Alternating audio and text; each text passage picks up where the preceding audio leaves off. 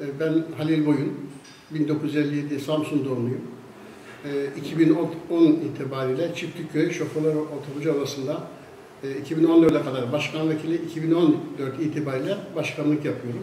Şu an hala görevim de başkan olarak devam etmektedir. Çiftlikköy ile ilgili yapılan zam, e, Losma'da pandemi kurulundaki zam değil. E, bu e, normal gelen bir zam. Biz e, bundan önce 2018 yılında zam tarifimizi aldık. Tabii, Evet, 2018 yılında. 2018'deki e, verilen zam normal çiftlikköye 2.75'ti.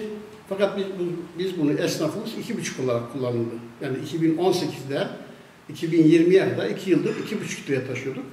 E, Yalova e, zam uyguladığı zaman biz de Yalova ile beraber Yalova merkez ve Çiftliköy ilçesinde zamlı tarife uyguladık.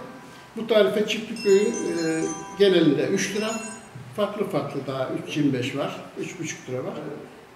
E, beldemizdeki zamlarımız yaptık ama pandemiyle bile alakalı değil. Normal 2 yılda artan zamları, sıkıntılara yaptığımız zam budur yani. Pandemiyle alakası yok.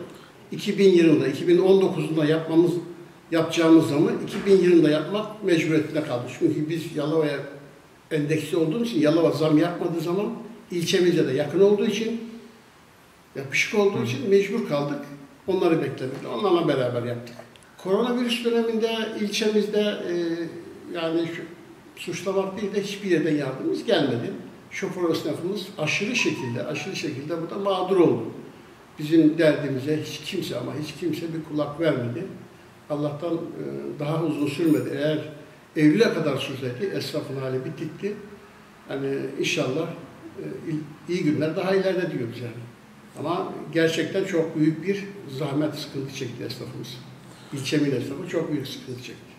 İçişleri Bakanı'nın İller İdaresi Genel Müdürlüğü'nden salı günü saat 4'te Toşokkalı'yla gelen yazıda yüzde el kaldırıldığından dolayı biz zaten yasal olarak minibüslerimizde ayakta vücut taşıma hakkımız yok.